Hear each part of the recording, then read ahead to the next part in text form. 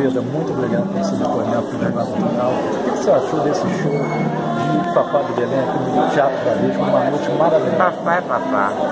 Ela arrebenta. Aliás, ela, ela conseguiu dar até mais calor ao Teatro Bradesco do que ele tem, na verdade. Né? Ele é um teatro mais. o mais distante, ou mais comportado, mais formal. Não sei o que, que é, mas rola um distanciamento. E com a ela é tão inspirante.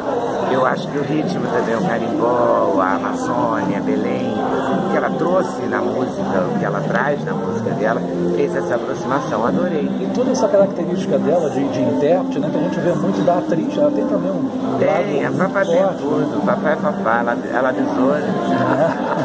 Maravilhosa, adoro. Há 40 anos. 40 anos, né? E sempre com essa jovialidade, né? Claro, sempre animadíssima é uma grande figura, uma grande intérprete, é uma pessoa importantíssima né, na cultura brasileira. Ela traz uma região que não é muito privilegiada né, para nós aqui embaixo. Né? É ela traz essa região inteira com muita força. E ela aproxima todas as gerações. É. Né? Maravilhosa. Valeu. Um abraço para vocês. Muito obrigado. Tá? Tchau. Tchau.